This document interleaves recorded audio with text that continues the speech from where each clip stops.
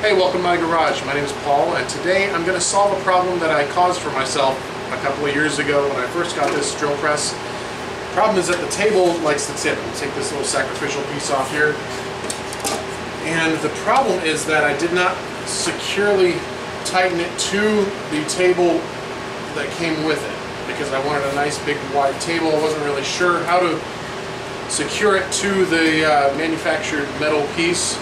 Uh, there's a million and one different videos on the, out there on how to make a drill press table, but they're all a little bit overcomplicated for someone who's brand new. And this was only like the second tool I ever bought when I wanted to try out woodworking. So here's the problem that I came across. Okay, so initially all I wanted the table to do was to sit on the manufactured metal table and not slip side to side or front to back. And so what I did, which wound up being a little bit more complicated than it needed to be, was I put this piece on the on the table and then traced out these lines and I wound up having to move it over a little bit. And I just made these uh, these pieces that fit right into the slots there that are designed to hold uh, whatever you're working on or just to be workable. But the problem is here's here's the issue. So when I put that in and sure it doesn't move side to side or front to back and if I have a particularly long piece that I'm trying to drill into, and I'm trying to focus on the drilling, and let's say I'm holding my work over here, you can see that the table wants to tip. So unless I have a piece that's, you know, only about a foot wide or less, it wants to tip on me. So today is the day that we're finally going to secure it to the bottom.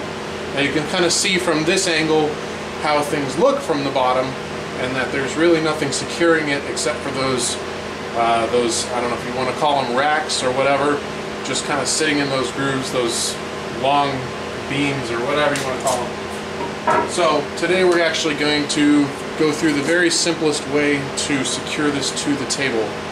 Alright, so I've always used a sacrificial piece. This one's pretty much had it, so I'll have to put another sacrificial piece on top, but that doesn't really matter for this project.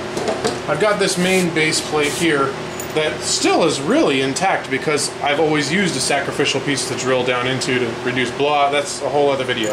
So I think I'm going to reuse this. The first step is going to be, I think I'm going to try to knock these off so that I can reuse this piece because other than these being on here, there's nothing wrong with this piece. It's still perfectly straight and um, I've got a, a little bit of hole here, but that's the same hole that runs right through there. So the first thing we're going to do is try to knock these off and even if it's not perfect on the bottom, as long as this top is still fairly nice, I'm still going to drill into the bottom. All right, let's see what we can do here. That's pretty easy. Wow. That's a lot easier than I expected. I'm going to knock this off with my chisel here, nothing fancy. Let's, let's try it like this. And look at that.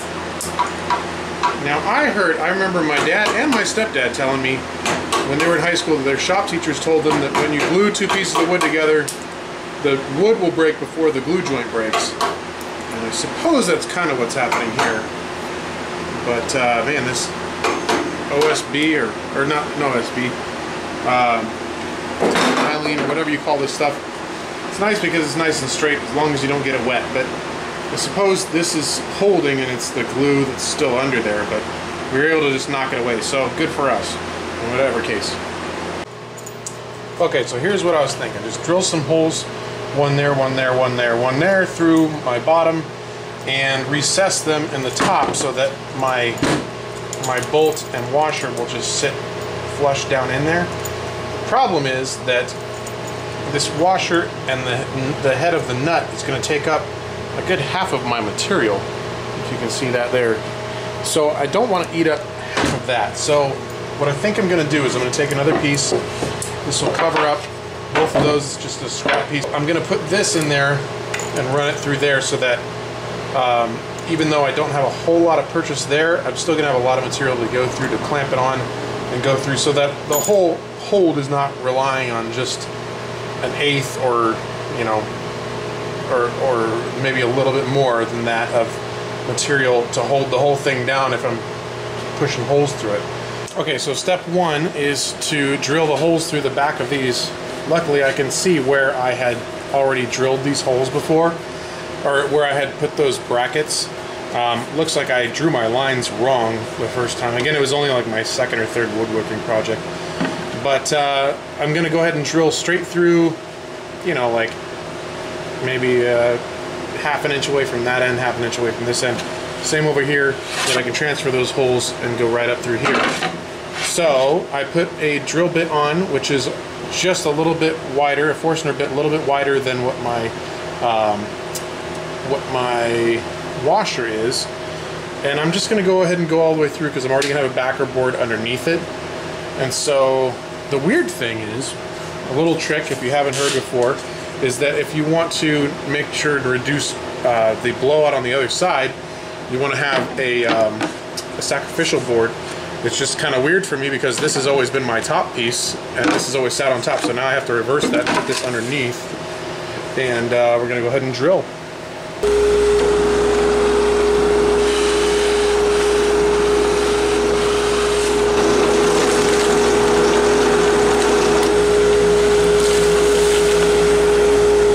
All right, nice clean hole on the other side you can see. Gotta love Forstner bits. Super expensive, but the truth is you don't have to spend a ton of money on them. I bought a whole set from the old uh, Harbor Freights, and uh, they've served me pretty well so far.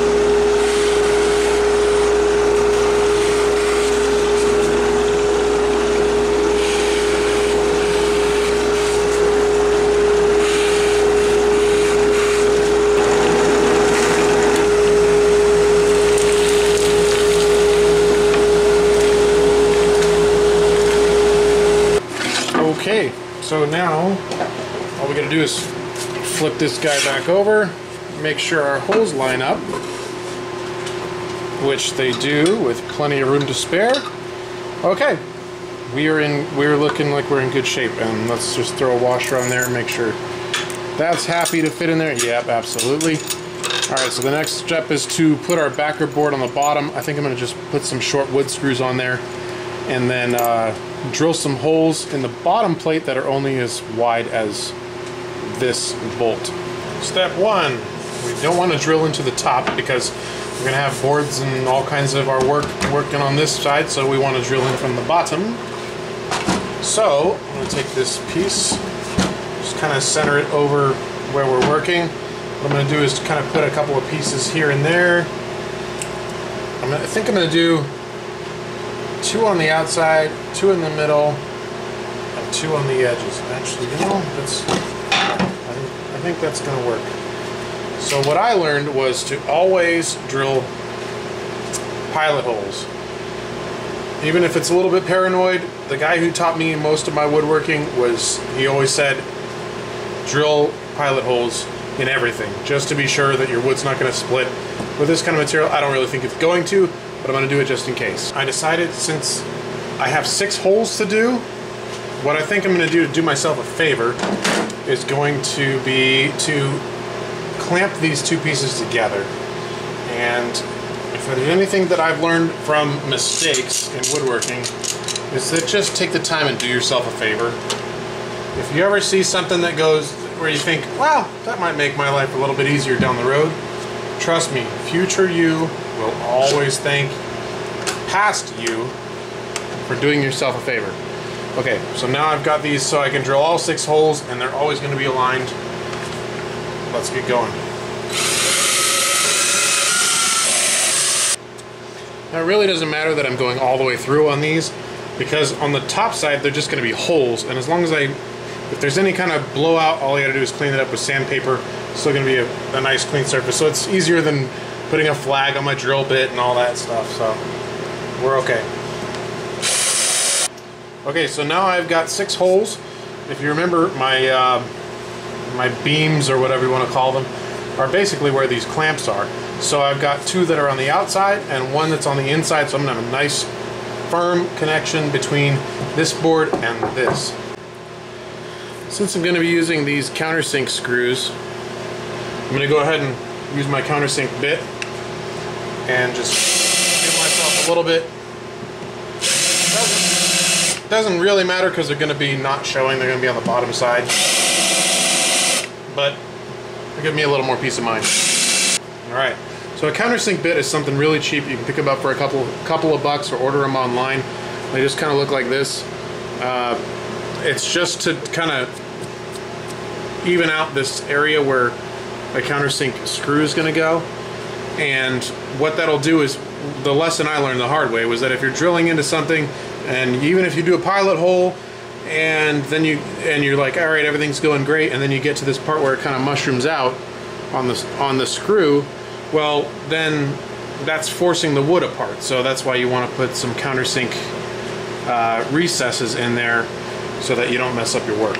I had a little bit of material left here that's going to make my table not sit perfectly flat and not perfectly perpendicular to where the drill press comes down and and contacts the material. Now I'm going to go back and sand these down and then all I got to do is line these holes back up with what I did before.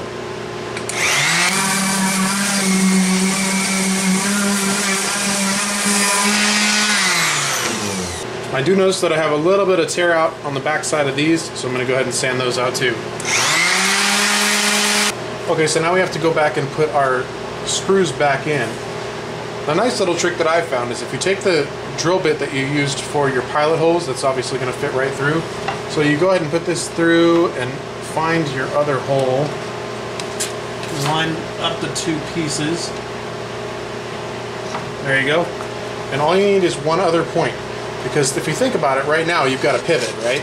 So if you put another hole in another point, so this is just a little Allen wrench that's this size or smaller, put another Allen wrench in there, now all of these other points are going to line up.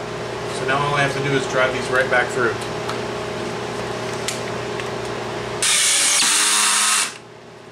Okay, now that I've got these other points in, obviously I can go ahead and pull these out. And these are going to be locked in place, aligned perfectly. Next we got to flip this over. And we need, oh look, we got a little bit tear out here. To sand that down. See, this is from the screws pushing up. I know that they're not long enough to get through the whole material, but it was pushing, and so I'm going to have to go ahead and sand that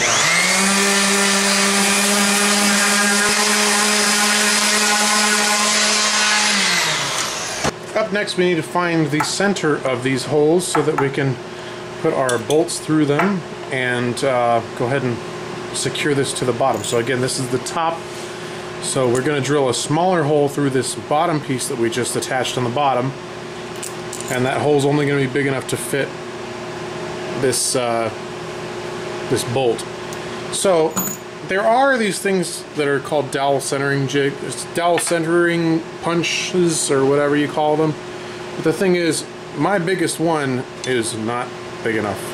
And I haven't dropped the money on a big one yet, so what I'm going to do is just go ahead and eyeball the middle of these and again, our holes were a little bit bigger, just a tad bigger than what our washers are. So we have a little bit of grace there. I'm still a beginner, so I like to build in a little bit of grace in my builds.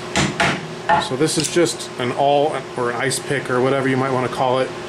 Uh, got it from my grandfather in his old toolbox. So all I'm going to do is punch some holes here to give myself a guide. And now we have all four. Now I just need to find a drill bit that is the size of this bolt plus the, uh, the threads there too. Very cool that you can use a drill press to build tools for a drill press.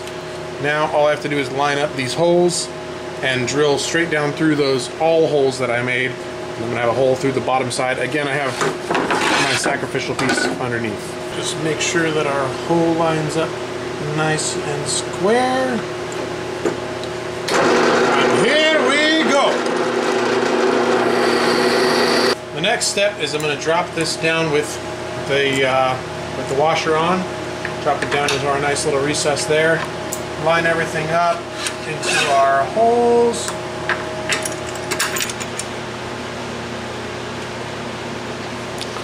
Okay, that's all snug. Now I'm just gonna mark, I'm gonna give myself a little bit of space here and mark where I need to cut that bolt off. Now I'll take something, anything that you know to be straight. Here's our one that we marked. Now let's take even just this box. It's the box of the nuts. Just line these up and now transfer our mark and we know that we gave ourselves plenty of grace that's the spot where we need to cut all of these.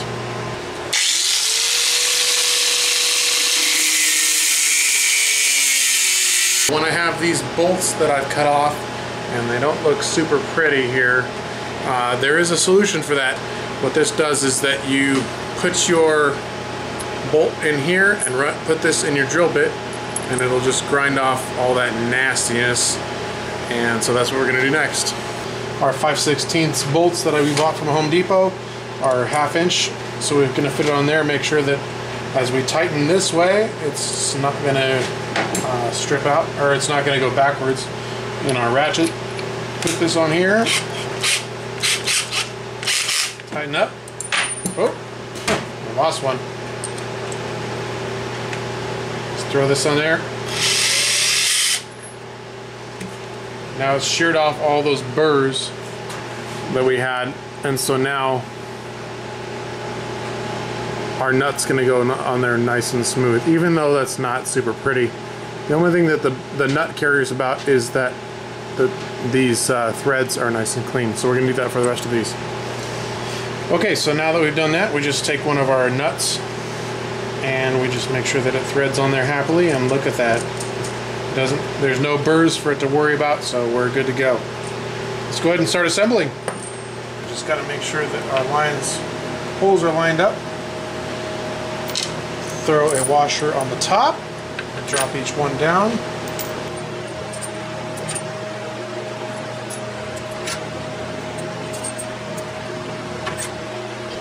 I'm going to throw a half inch socket on the top. I got a half inch box end for the bottom.